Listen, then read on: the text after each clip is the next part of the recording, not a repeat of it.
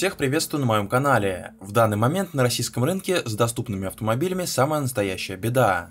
В связи с мировым дефицитом автокомпонентов, в первую очередь микрочипов, стоимость всех автомобилей выросла очень значительно. Сегодня уже никого не удивляет ситуация, когда Ладу Весту в автосалоне продают за полтора миллиона рублей, а наиболее бюджетную гранту отдают более чем за миллион. Естественно, цены на новые машины становятся все менее и менее доступными для простых российских работяг, ведь их зарплата остается за годами фактически неизменной. Естественно, отечественный рынок в данный момент нуждается как в увеличении объема производства существующих моделей, так и в запуске производства совершенно новых машин. В настоящий момент многие ждут старта продаж рестайлинговой Лады Весты и новой Лады Гранта следующего поколения на базе платформы CMF BLS. Те, у кого с деньгами чуть получше, покупают их иностранных иностранных конкурентов, таких как Volkswagen Polo, Skoda Rapid, Hyundai Solaris и Kia Rio. Однако в ближайшее время у всех этих моделей может появиться очень интересная бюджетная альтернатива. В России может начаться выпуск абсолютно нового для нашего рынка бюджетного седана B-класса. Новая машина будет построена на базе японской малолитражки Suzuki Ciaz, который ранее был представлен на рынках Китая и Индии. В прошлом эту модель компания Suzuki планировала привести в нашу страну под своей маркой, однако что-то не срослось. В данный же момент выпускать его под брендом Suzuki в России практически бессмысленно, так как дилерская сеть этого производителя в нашей стране крайне ограничена. По мнению некоторых инсайдеров, новая модель в нашей стране может быть представлена под брендом Lada. Изображение подобного автомобиля, получившего фирменный вазовский передок, недавно появились в сети. От исходного Suzuki такая машина отличается иной решеткой радиатора и другим бампером, несущим на себе фирменные иксы от Лады.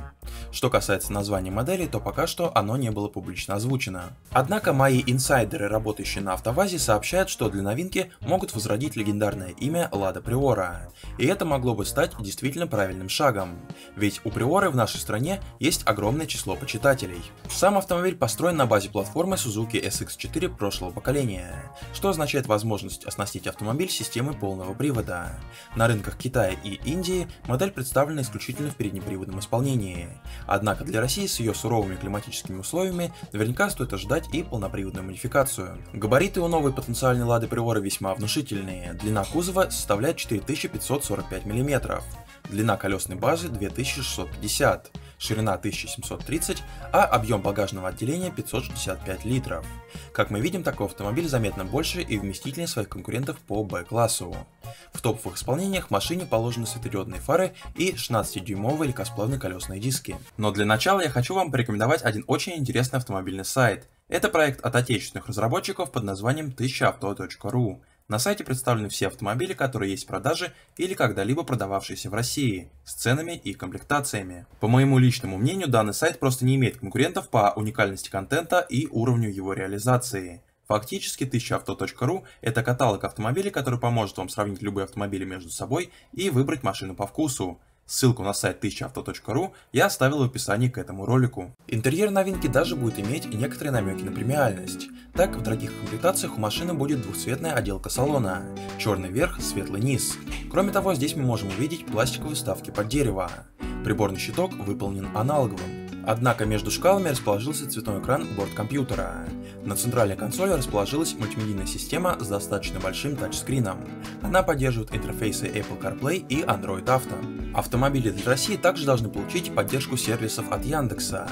В базовом исполнении такая приора должна получить кондиционер, системы ABS, ESP, две подушки безопасности, а также подогрев сидений. За доплату будет предлагаться двухзонный климат-контроль, полный набор теплых опций, отделка салона из эко-кожи и 6 подушек безопасности.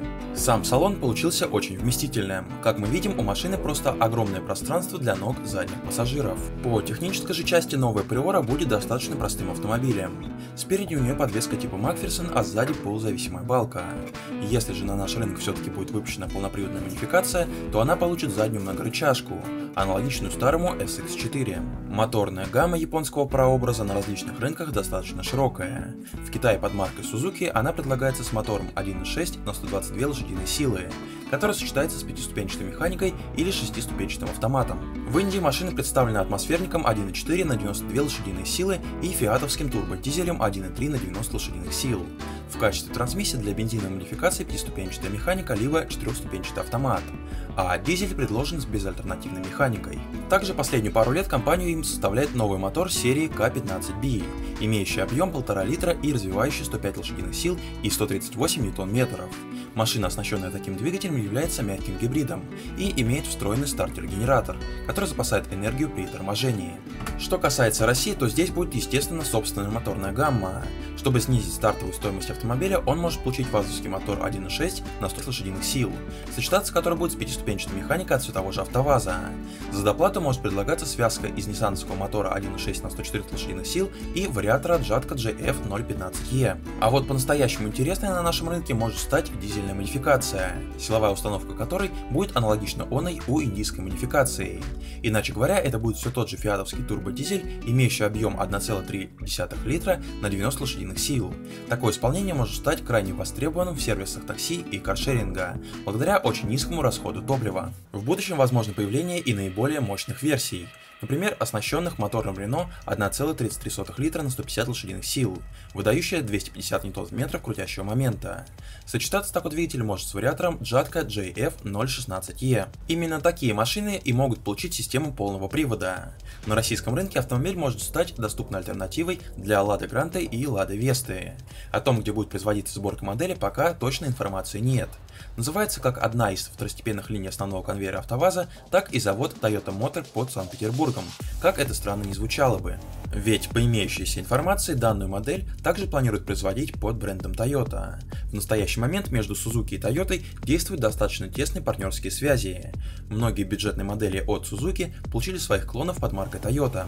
Собственно, было бы логично и в России продавать эту модель под известным японским брендом, который так высоко котируется в нашей стране. Очевидно, что в руководстве компании Toyota не хотят предлагать под своей маркой столь доступную модель.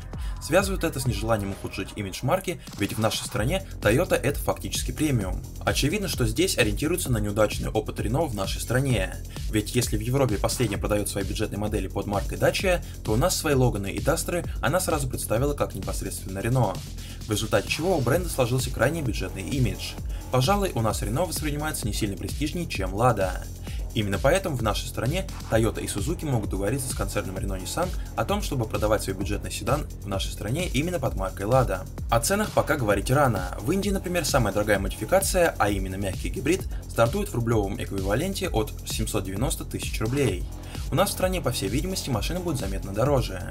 Стоит ориентироваться на базовую цену на уровне 1 миллион 100 тысяч рублей. Топовые же дизельные модификации могут стоить приблизительно 1,5-1,6 миллионов рублей.